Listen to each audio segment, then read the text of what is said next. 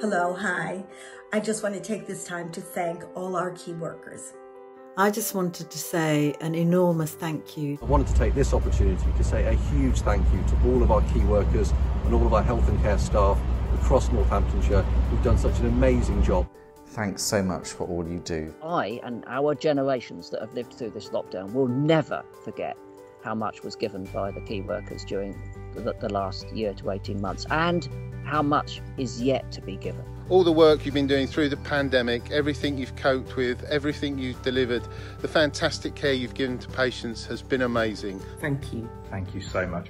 I'd like to give a big thank you to all the NHS and care colleagues. Thank you to all our amazing key workers. You've been an invaluable part of the community. I'd like to personally thank all of our dedicated and hard-working key workers. Key workers, everyday superheroes, I salute you. I just want to say a huge thanks to everyone. We think you're amazing. Keep doing that great work. I want to say a really big thank you to everybody who has worked so hard during such a challenging year. Thank you. A big thank you.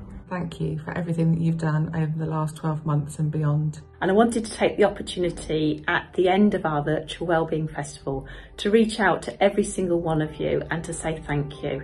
A thank you to all the key workers who continue to support us to manage the pandemic in Northamptonshire and to provide the care and support and health interventions and all of the interventions that we provide collectively for our population. Thank you, thank you, thank you.